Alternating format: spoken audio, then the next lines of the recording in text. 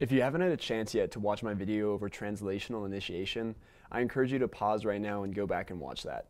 In this video, we're going to be talking about the elongation and termination portion of translation.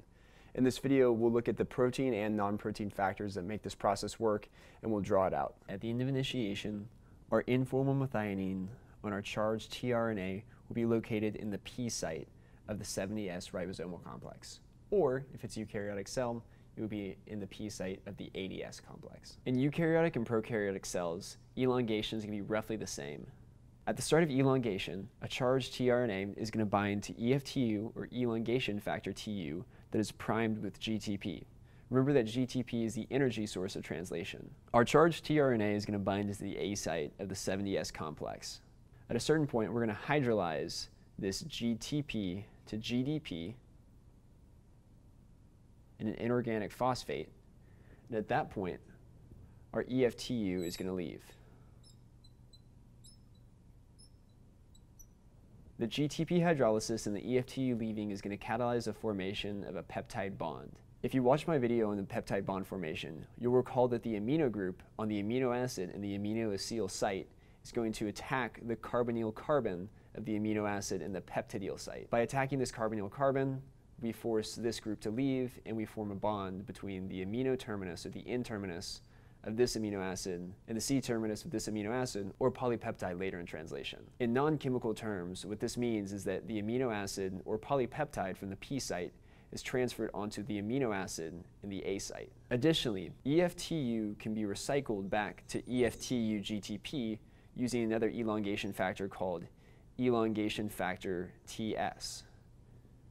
Elongation factor TS is essentially like the recycling elongation factor because it helps recycle EFTU back to its active role. So the amino acid or polypeptide, in this case N-formyl methionine, has been transferred from the tRNA in the P site onto the amino acid on the tRNA in the A site. Now that this has happened, we have to translocate this to continue this process of translation. So what's going to happen is elongation factor G, or EFG, which is bound to GTP, is going to briefly associate and then the GTP is going to be hydrolyzed. Hydrolysis of this GTP is going to cause EFG to leave, but it's also going to cause the 70S ribosome to translocate. During translocation, the 70S ribosome will slide one codon to the 3' direction.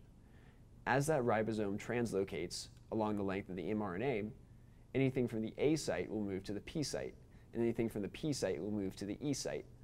And there's really nothing that stays in the E site when something moves from the P site to the E site, it's just ejected out of the ribosome. We're actually going to end just like we started, with a tRNA with amino acids on the acceptor arm in the P site. So we can continue elongation over and over and over based off of these same steps until we reach a nonsense codon. And remember, when we reach a nonsense codon, that's when we start termination. Now let's take a look at termination. Recall that termination is when we reach a nonsense codon. So when we reach a nonsense codon, we're going to have something recruited called a release factor. And a release factor is going to have an anticodon that's going to correspond to one of these nonsense codons. And this may be FYI for you, but I just wrote this up here.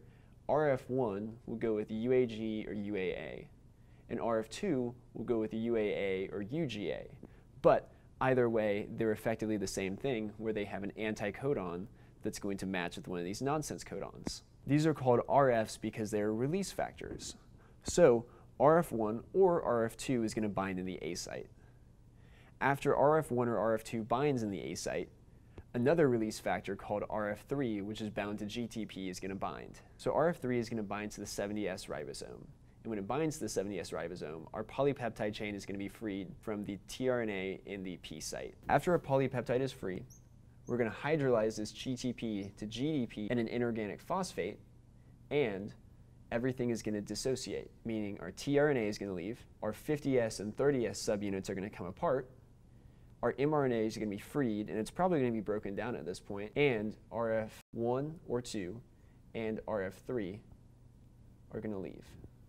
So again, when we have GTP and we hydrolyze GTP, it generally means that things are going to be leaving. But ultimately, what GTP is doing through translation is being hydrolyzed, releasing free energy to be coupled to a dissociation or a bond formation, or a translocation, or something else like that. A helpful way to study translation is to draw out the entire process and consider the effect of inhibiting certain parts of it. Many anti-cancer antibiotic drugs target translation, so you could even have fun with it and do some research about a drug and see how this applies to your learning. A couple final thoughts in translation are polyribosomes and simultaneous transcription and translation.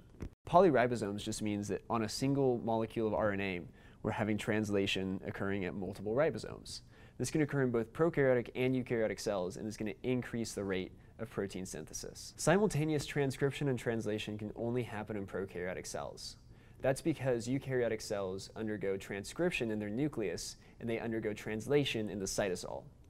Because prokaryotic cells lack a nucleus, they have the ability to directly start translating the product of transcription while transcription is still happening. So this actually enables them to have a very high rate of gene expression. I hope you found this video really helpful. The concepts and information presented in these videos will be true no matter what genetics class you are taking. However, the concepts presented in this video are referencing material currently covered in Baylor University's coursework. Remember, if you are currently enrolled as a Baylor student, we offer free tutoring services. Our tutoring center is located on the first floor of the Sid Richardson building. You will find all the details you need to know about these services on our website, www.baylor.edu tutoring. You may schedule a free 30-minute one-on-one tutoring session online through Navigate or just drop in during our open business hours. For more information about our current services, please visit our website. Thank you.